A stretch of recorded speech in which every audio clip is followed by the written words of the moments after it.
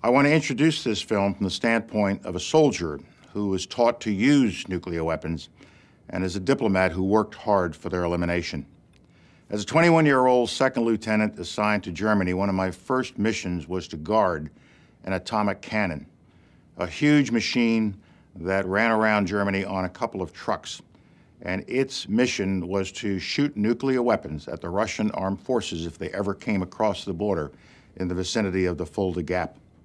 A few years later, as a captain, I was taught how to actually employ this weapon and other similar weapons. I was taught how to determine what the blast effects of such weapons would be, how many people would be killed by the blast, how many buildings would be knocked down.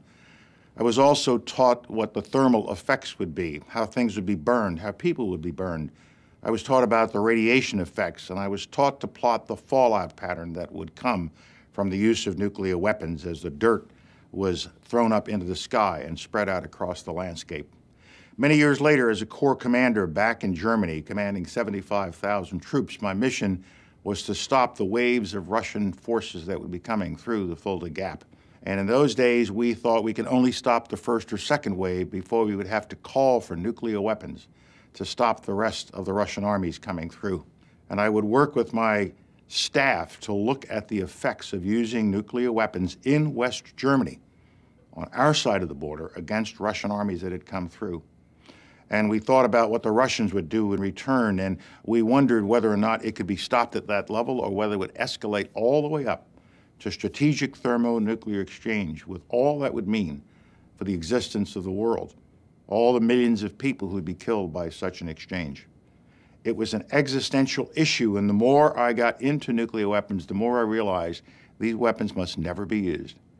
And then I became chairman of the Joint Chiefs of Staff in 1989, and I had 28,000 nuclear weapons under my supervision. And every morning I looked to see where the Russian submarines were off the coast of Virginia and how far away those missiles were from Washington. And I kept track of where the Russian missiles were in Europe and in the Soviet Union. And the one thing I convinced myself of after all these years of exposure to the use of nuclear weapons is that they were useless. They could not be used. So you can have deterrence with an even lower number of weapons. Well, then why stop there? Why not continue on? Why not get rid of them altogether?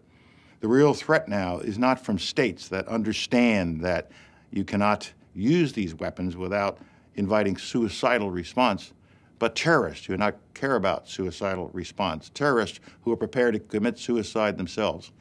And so it is important at this point in our international history that we all come together behind this initiative that you're going to hear about to make sure that we start a process that will lead to the reduction in the number of nuclear weapons that exist in the arsenals of the world now, that will deter other nations from moving forward on nuclear weapons programs, but above all, will capture and contain the elements that are out there, the devices that are out there, the technology that is out there, the uranium and plutonium sources that may be out there that a terrorist could get his hands on to try to develop a rudimentary or real nuclear weapon.